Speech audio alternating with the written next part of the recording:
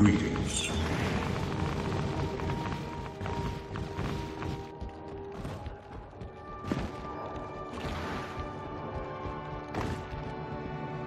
I am impressed, Mortimer.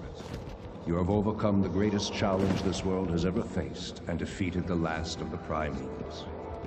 However, we are too late to save the Worldstone.